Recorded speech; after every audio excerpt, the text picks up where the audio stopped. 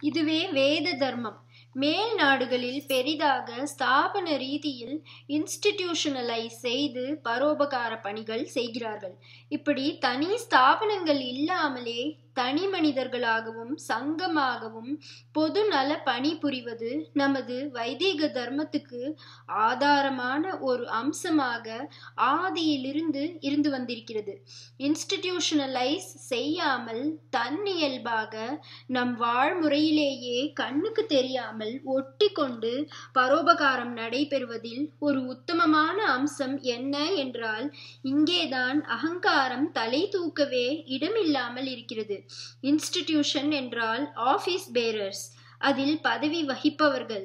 Election போட்டா போட்டி publicity எல்லாமும் வந்துதான் சேரும். அதனால்தான் நான் சங்கமாக செய்ய வேண்டிய அநேக பணிகளை சொல்கிறபோது கூட இதற்காக தனி ஆர்கனைசேஷனும் ஆஃபீஸ் பேரர்ஸும் வேண்டாம். ஏற்கனவே இருக்கிற வார வழிபாட்டு கழகம் பாவை கமிட்டி பஜனை கோஷ்டி சத்சங்கம் ஏதாவது ஒன்றின் மேற்பார்வையிலும் பொறுப்பிலும் இந்த பணிகளையும் கொண்டு வந்து விடுங்கள் என்கிறேன். ரொம்ப பெருசாக திட்டம் போட வேண்டாம். அவசியத்துக்கு அதிகமாக வசூல் பண்ண வேண்டாம். என்றெல்லாம் நான் எச்சரிப்பதற்கும் காரணம் இப்படி பெரிசாக கால் வைத்தால் முதலில் இதை செய்யும் நம் ஸ்தாபனத்துக்கு பப்ளிசிட்டி தேட வேண்டி வரும். அது அப்படியே வழுக்கிவிட்டு ஸ்தாபனத்தில் ஈடுபட்டிருக்கிற நமக்கும் செல்ஃப் பப்ளிசிட்டி தேடிக்கொள்கிற சபலத்தில் கொண்டு வந்துவிடும். ஆண்டு விழாவில் நாம் வரவேற்பு சொல்ல மாட்டோமா? வந்தனோபச்சாரம் சொல்ல மாட்டோமா? வருகிற முக்கியஸ்தர்களுக்கு மாலையாவது போட மாட்டோமா? போட்டோவிலாவது தெரியும்படி நிற்க மாட்டோமா? என்று இப்படியெல்லாம் மனசை அலையச் செய்யும். அதாவது அகங்காரத்தை அழித்து கொள்ளவே ஏற்பட்ட பொது தொண்டு நேர்மாறாக அகங்காரத்தை விருத்தி செய்கிறதாக விபரீத ரூபம் எடுத்துவிடும். தான் இருக்கிற இடமே தெரியாமல் தன் காரியம் மட்டுமே தெரிவதுதான் தொண்டின் லட்சணம். இதனால்தான் தர்மே க்ஷரதி கீர்த்தனாத் என்று சொல்கிறது. அதாவது பாபம் பண்ணிவிட்டேன் என்று ஒருத்தன் வெளியில் சொன்னாலே எப்படி அவனுடைய பாபம் நசித்து விடுமோ அப்படி தர்மம் பண்ணுகிறேன் என்று தண்டோரா போட்டுக்கொண்டால் அதனால் ஒருத்தனுக்கு கிடைக்கிற புண்ணியமும் நசித்து விடுமாம். சம்ஸ்கிருதத்தில் சட்டிலாக நுட்பம் மிக்கதாக தர்மத்வஜன் என்பார்கள். தர்மத்வஜன் என்றால் தர்ம கொடியை தூக்கி பிடித்து கொண்டிருப்பவன் என்று அர்த்தம். இது பாராட்டுகிற டைட்டில் மாதிரி தொனித்தாலும் இதற்கு உள்ளர்த்தம் போலி த போலி தர்மவான் என்பதே. தன் தர்மத்தை உசத்தி காட்டுவதாலேயே அதை இவன் போக்கி கொண்டு விடுகிறான் என்பது தாத்பரியம். இன்ஸ்டிடியூஷனலைஸ் பண்ணுவது பற்றி சொல்ல வந்தேன். மேல் நாடுகளில் ஆர்ஃபன் ஹோம் அனாதை இல்லம் என்று தனியாக வைக்கிறார்கள் என்றால் நம் சாஸ்திரப்படி ஒவ்வொரு இல்லத்திலும் அனாதைக்கும் அதிதிக்கும் இடம் உண்டு மேல் நாட்டுக்காரர்களின் வீட்டுக்குள் அனாதைகளோ அதிதிகளோ நுழையக்கூட முடியாமல் நாய் கட்டியிருக்கும். அவன் வாழ்க்கையோடு இரத்தத்தோடு அதிதி சத்காரமும் அனாதை பராமரிப்பும் ஒட்டாமல் அவை பாட்டுக்கு மெக்கானிக்கலாக ஸ்தாபன ரீதியில் நடக்கும். எல்லோரும் இப்படி என்று நான் சொல்லவில்லை. எந்த தேசத்திலும் உத்தமர்கள் பரோபகாரிகள் தியாகிகள் உண்டு. அப்படியே ஸ்வயநலக்காரர்களும் உண்டு. பொதுவாக சொன்னேன். மேல் நாட்டானை காப்பியடித்து அதிதி தேவோ பவ என்ற கொள்கையை கொண்ட நம் தேசத்திலும் வீட்டு வாசல்களில் நாய் ஜாக்கிரதை போர்டு தொங்குவதை பார்த்தால் வேதனையாய் இருக்கிறது வா வா என்று வழி போ போக்கர்களை கூப்பிட்டு படுக்க வைத்து கொள்ளவே திண்ணை என்பது நம்முடைய வைதீகமான கிரக சில்பத்தில் இருந்தது. இப்போது அதெல்லாம் போச்சு. இப்படியே அன்றென்றும் வைஸ்வதேவ பலியில் தெருவில் போகிற எவனோ பஞ்சமன் சாப்பிடக்கூட ஒரு பங்கு அன்னம் போடப்பட்டு வந்த இந்த தேசத்தில் இம்மாதிரி அனுஷ்டானங்களை சூப்பர்ஸ்டிஷன் என்று தள்ளி வைத்து விட்டதும் மனசுக்கு கிளேசமாய் இருக்கிறது மேல் நாட்டு மோஸ்தரில் இங்கேயும் தனி மனுஷியனின் குடும்பம் தனக்கே என்று ஆன பிறகு இங்கேயும் அங்கே மாதிரி சமூக பணிகளை இன்ஸ்டிடியூஷனலைஸ் செய்வதாகவும் வெல்ஃபேர் ஸ்டேட் என்பதாக ராஜாங்கமே அனாதை இல்லம் வயசானவர் பென்ஷன் என்றெல்லாம் நடத்துவதுமாக ஆகிவிட்டது. இன்றைய செட்டப்பில் இதுவும் இல்லாவிட்டால் நிராதரவானவர்களின் பாடு ரொம்பவும் கஷ்டமாகத்தான் ஆகிவிடும். ஆனாலும் பூர்வத்தில் ஒவ்வொருவரும் வசுதைவ குடும்பகம். லோகம் முழுக்க ஒரு குடும்பம் என்ற அன்பான எண்ணத்தோடு தாங்களே ஆதரவற்றவர்களை தாங்கி தரித்த முறையோடு பார்த்தால் இப்போது ராஜாங்க ரீதியில் ஆபீஸாக சமூக காரியங்களை நடத்துவது இரண்டாம் பட்சம்தான்.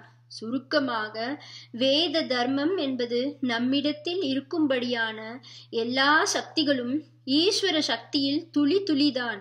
இந்த சக்திகளை ஈஸ்வரனுக்கே அர்ப்பணிக்க வேண்டும்.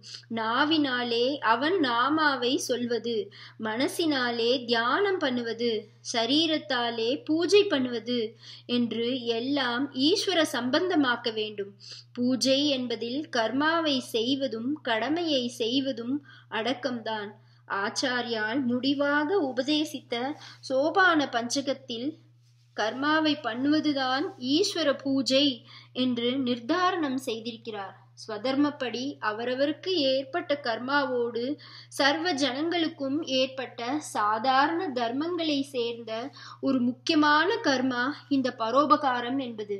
அதனால் நாக்கால் நாமா சொல்கிறதோடு ஜனங்களுக்கு நல்லதாக மதுரமாக நாலு வார்த்தை சொல்ல வேண்டும்.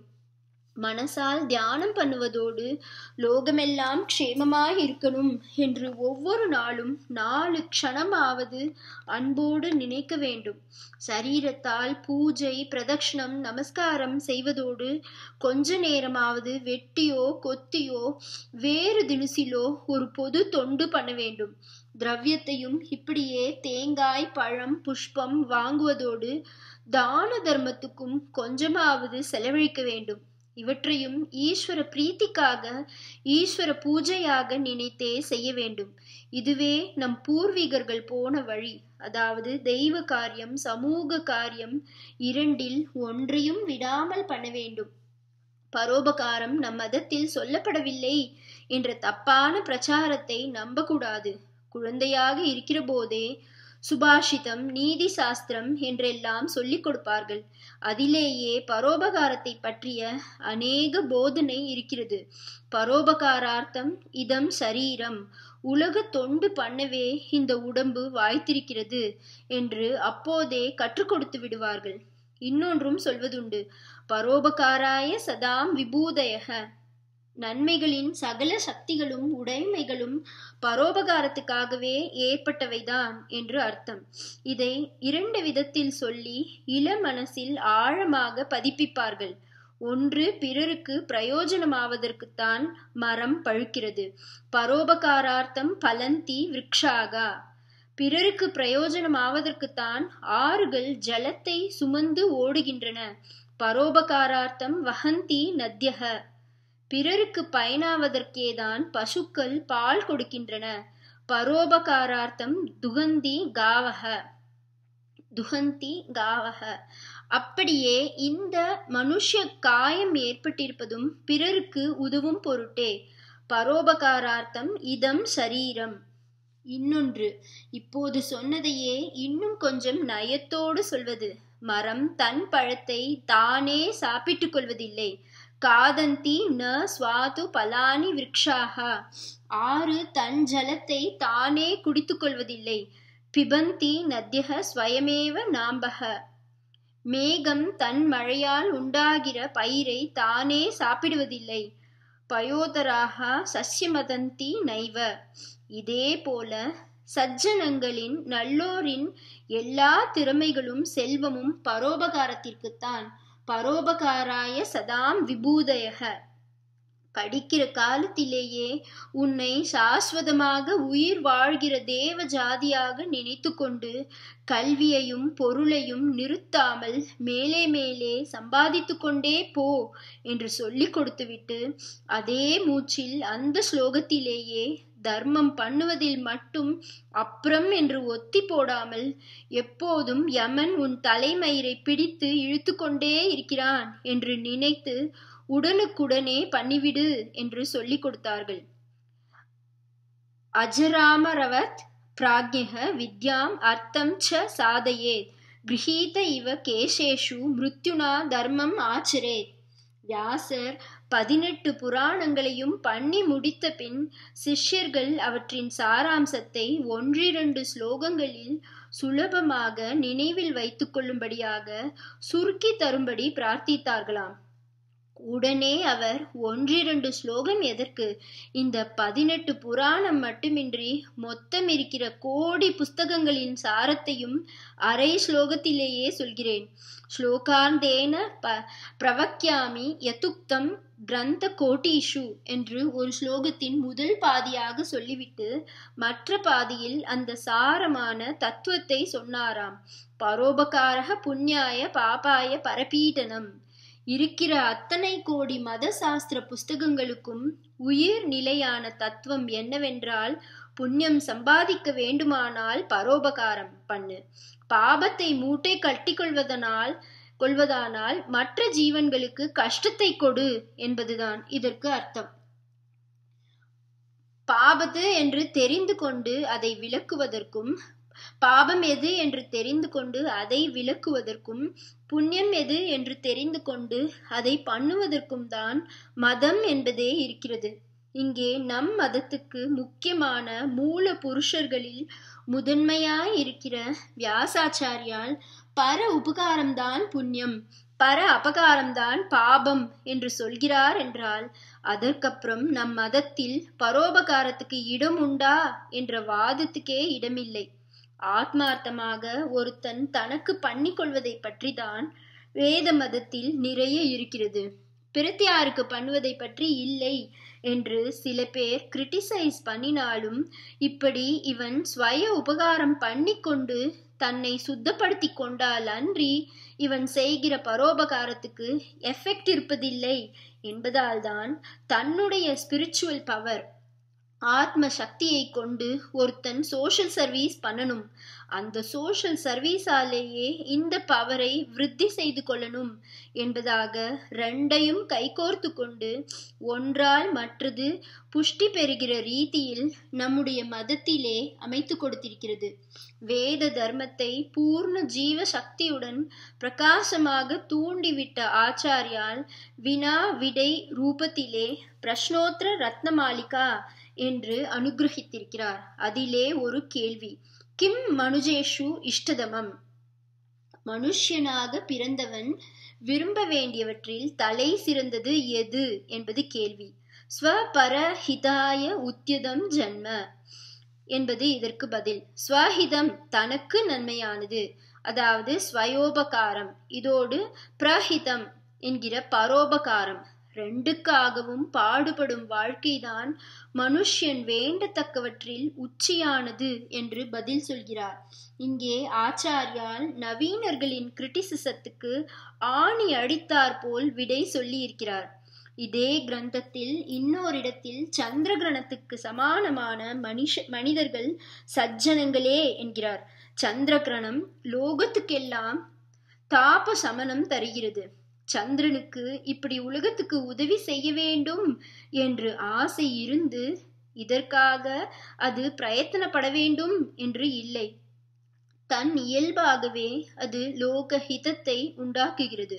அதேபோல் சஜ்ஜனங்கள் என்கிற சாதுக்கள் சோஷியல் சர்வீஸ் பண்ணணும் என்று அரிப்பு பட்டு கொண்டு தண்டாரோ தண்டாரோ போட்டு செய்யணும் என்றே இல்லை. அவர்கள் தங்களுடைய நேச்சர் படி இருப்பதே நடப்பதே லோகஹிதமாக பரோபகாரமாகத்தான் இருக்கும்.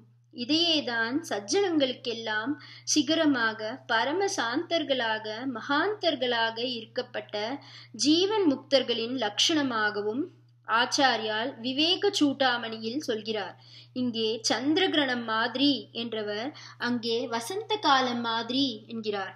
வசந்தவத் லோகஹிதம் ஸ்ரந்தஹ. வசந்த காலம் போல உலக நலனை பண்ணியபடி உலாவுகிறார்களாம் மகான்கள்.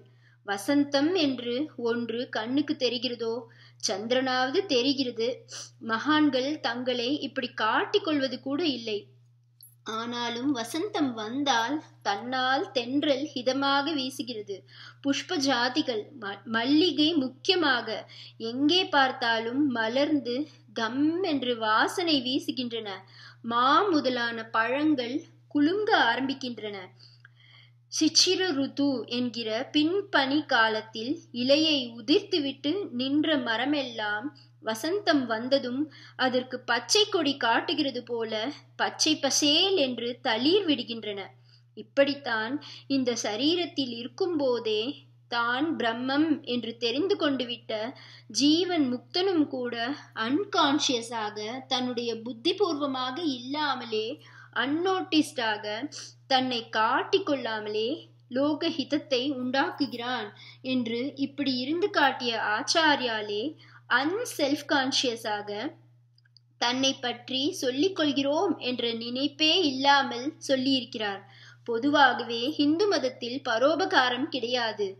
அதிலும் அந்த மதத்தில் உள்ள அத்வைத்தத்தில் லோகமே மாயை ஆத்மாவை தவிர பிரத்தியான் என்றே இல்லை. என்று சொல்லி துளி கூட பரோபகார பிரஜைக்கு இடமே இல்லாமல் அடைத்து விட்டிருக்கிறது என்று ஒரு கிரிட்டிசிசம் இருந்தாலும் அத்வைத ஆச்சாரியாலே அத்வைத சித்தியை அடைந்து விட்டவனும் லோக ஹிதத்துக்காக லோக ஹிதத்துக்காகத்தான் உலகத்தில் உலாவிக் கொண்டிருக்கிறான் என்கிறார். பகவானும் ஸ்ரீ கிருஷ்ணரும் ஜீவன் முக்தர்களான ஜனகாதியர் கூட லோக சங்கிரகத்துக்காக காரியம் பண்ணி கொண்டுதான் இருக்கிறார்கள் என்று கீதையில் சொல்கிறார். சங்கிரகம் என்றால் அன்போடு வழிகாட்டி உசுத்துவது. தன்னில் தானே சகல சாதனைகளுக்கும் லட்சிய ஸ்தானமாய் இருந்த போதிலும் தான் பண்ண வேண்டிய சாதனையோ அடைய வேண்டிய லட்சியமோ எதுவும் இல்லாத போதிலும் பகவானான தாமும் லோகத்தார் எப்படி வாழ வேண்டும்? என்ற ஐடியலை அவர்களுக்கு காட்டி கொடுப்பதற்காகவே ஓயாமல் ஒழியாமல் காரியங்கள் பண்ணி கொண்டிருப்பதாக சொல்கிறார். எதுவும் சாதிக்க வேண்டாத பகவானும் பரோபகாரத்தை சாதிக்கிறார். இதையேதான் பிரஷ்னோத்திர ரத்னமாலிகாவிலும் ஆச்சாரியால் கிம் சாத்தியம் சாதிக்கத்தக்கது என்ன? என்று கேட்டு பூத ஹிதம் உயிர் குலத்துக்கு நன்மை செய்வது என்று பதிலாக கொடுக்கிறார். டாப் லெவலில் இருப்பவனுக்கே பரோபகாரத்தை சொன்ன அத்வைத ஆச்சாரியால் சாதாரண மனுஷனுக்கும் அந்த லெவலுக்கு ஏறுகிற வழியில் இதை அங்கமாக சொல்லித்தான் இருக்கிறார். பணம் சம்பாதிக்கிறாயா? சம்பாதித்து விட்டு போ. ஆனால் அதை தார்மீகமாக பிரயோஜனப்படுத்தினாய் ஆனால் அதுவே உன் சித்தத்தை பரிசுத்தி பண்ண உதவும். எல்லபசே நிஜ கர்மோபாத்தம் வித்தம் தேன வினோதய சித்தம் என்று பஜகோவிந்தத்தில் சொல்கிறார். அதிலேயே ஆத்ம சம்பந்தமாக பகவத் சம்பந்தமாக கீதையை சொல்லு சகசிரநாமம் சொல்லு. விடாமல் லக்ஷ்மிபதியான மகாவிஷ்ணுவை தியானம் பண்ணு. சத்சங்கத்திலேயே மனசை ஈடுபடுத்து என்றெல்லாம் சொல்லிவிட்டு முடிவாக ஏழை எளியவர்களுக்கு தான தர்மம் பண்ணு என்று பரோபகாரத்தோடு முடிக்கிறார். கேயம் கீதா நாம சஹசிரம் தேயம் ஸ்ரீபதி ரூபம் அஜஸ்ரம் நேயம் சஜ்ஜன சங்கே சித்தம் தேயம் தீன வித்தம். ஆனதால் வேத தர்மம் லோகம் ஜீவன் எல்லாம் மாயை என்கிற அத்வைத்தமும் கூட ஜீவாத்ம கைங்கரியங்களை ஈஸ்வர சம்பந்தத்துடனே சேர்த்து சேர்த்து எல்லாரும் பணியாக வேண்டும் என்று கொடுத்திருப்பதை புரிந்து கொண்டு அப்படியே செய்ய வேண்டும். நம் பூர்வீகர்கள் போன வழி அதுதான். அதிலேயே நாமும் போய் அத்வைத்த திருஷ்டியில் எல்லா உயிர்களையும் ஈஸ்வர ஸ்வரூபமாக பார்த்து தொண்டு செய்து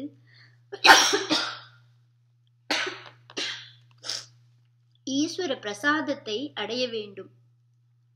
சர்வே ஜனாக சுக்கினோ பவந்து லோகாக சமஸ்தாக சுக்கினோ பவந்து.